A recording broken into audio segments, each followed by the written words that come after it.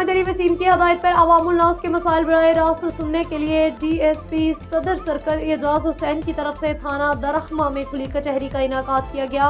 मजीद report कर रहे हैं हाजी मोहम्मद सईद जी।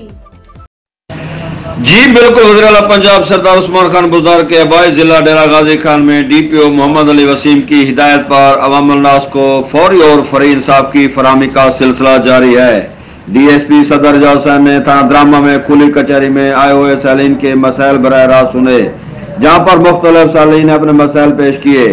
सैलीन के मसाइल तवज्जो से सुनते हुए इन पर अहकाम जारी किए। इस मौके पर डी एस पी का कहना था कि सैलीन के मसाइल को मेरठ पर हल किया जा रहा है। एस एच ओ को भी हिदायत की कि अपने मुकर वक्त में थानों में मौजूद रहकर सैलिन के मसाइल सुनते हुए इन्हें फौरी मेरठ पर हल करें। उन्होंने ओ और तफ्तीशी अफसरान को सख्ती से हिदायत की कि किसी को भी नाजायज तंग ना किया जाए। गैर कानूनी पकड़ धक्का तशद किसी सूरत बर्दाश्त नहीं किया जाएगा। डीएसपी ने मोहतद खुद मैक पकड़ कर स्पीकर पर ऐलान किया कि अगर कोई सैल है तो सामने आए। आने वाले सैलिन के लिए बैठने के लिए कुर्सियों का एहतमाम भी किया गया था। डीएसपी एक बुज़ुर्ग खातून की फरियाद सुनकर आबदीदा हुए, जिसने शिकायत की कि मेरे बेटे के कातल पुलिस गिरफ़्तार नहीं कर रही। जिस पर जावसन ने तफ्तीशी को मुकदमा की फैल समेत तलब कर लिया।